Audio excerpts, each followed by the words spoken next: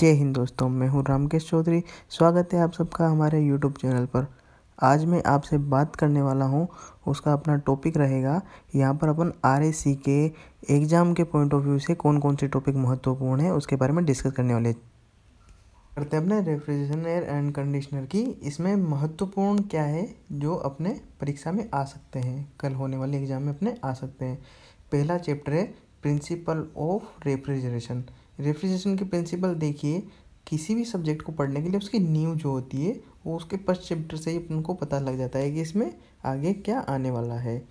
तो यहाँ पर जो है, अपना जो फ़र्स्ट चैप्टर है, वो सबसे महत्वपूर्ण है। ये तो आपको पढ़ना ही पढ़ना है। अगर आप कुछ थ्योरी नहीं आती है, आपको कुछ भी नहीं आता है तो भी फ़र्स्ट चैप्टर आपको पढ़ना ज़रूरी है, क्योंकि जो दो दो नंबर के प्रश्न बनने वाले हैं, वो भी यहीं से ही बनेंगे।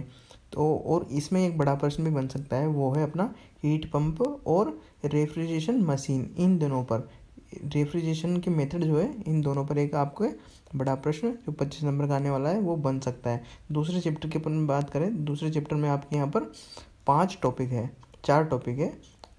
Air refrigeration system vapour compression system method of improving C and vapour absorption system यहाँ पर इन चारों टॉपिक में जो सबसे महत्वपूर्ण है, जो कि आपको पढ़ना ही पढ़ना है और वहाँ पर एग्ज़ाम में आने की दृष्टि से कि ये तो आएगा ही सही, वो है आपका वेपर कंप्रेशन सिस्टम इसको अगर आप पढ़ लेंगे एक बार तो इसके चांसेज है कि आपको वहाँ पर पेपर में देखने को मिल जाए। साथ ही साथ इस चैप्टर में से आपको रिवर्स कार्नोट साइकिल का थोर्टिकल और एक्चुअल ये रिवर्स बेटन साइकिल ये भी आपको एक बार देख के ज़रूर जाना है।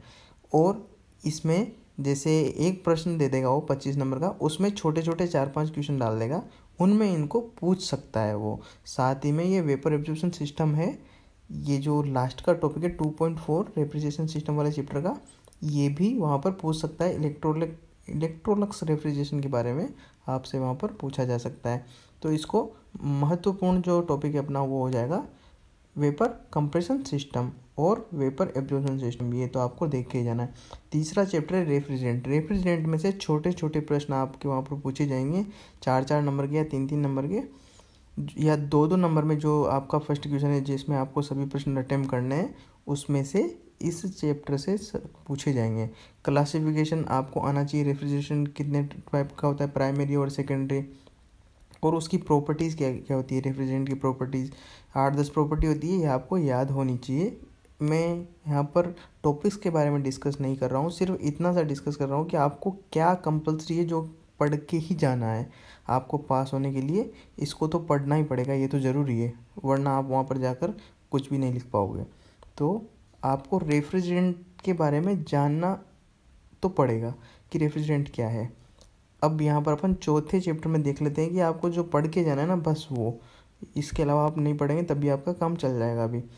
आपको चौथे चैप्टर में कंप्रेशर के बारे में नॉलेज होनी चाहिए रेसिप्रोकेटिंग कंप्रेसर और सेंट्रीफ्यूगल कंप्रेसर बाकी सारा आप छोड़ के भी जा सकते हो अगर चाहो तो।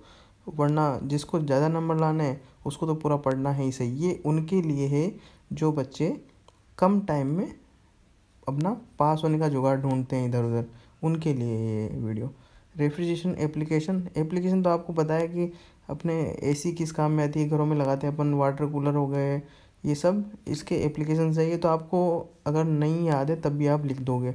एसी अपन घर में लगाते हैं, गाड़ियों में चलती है अपने वाटर कूलर हो गया फ्रिज हो गया, ये सब इसके एप्लीकेशंस में आ जाएगा।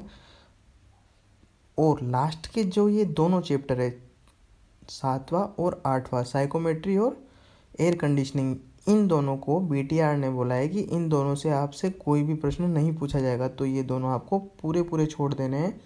और छठवा चैप्टर भी आप चाहो तो इसको भी छोड़ सकते हो। ओनली आपको पढ़ाना है जो दूसरा, दूसरे चैप्टर में ये दो टॉपिक पढ़ने हैं vapour compression system vapour absorption system तीसरा आपको पूरा पढ़ना पड़ेगा। चौथे में आप नॉलेज ले लेंगे कि रेसिप्रोकेटिंग कंप्रेसर क्या होता है और सेंट्रीफ्यूगल कंप्रेसर क्या होता है, जिससे आपका काम सफिशियंट हो जाएगा। एग्ज़ाम अगर आप देने जा रहे हैं तो एक बार इनको तो देख कर ही जाना है आपको। ठीक है दोस्तों? ऐसे ही महत्वपूर्ण वीडियो के लिए आप हमारे चैनल को सब्सक्राइब कर लीजिए और नोटिफिकेशन को ऑन कर लीजिए। वीडियो देखने के लिए धन्यवाद।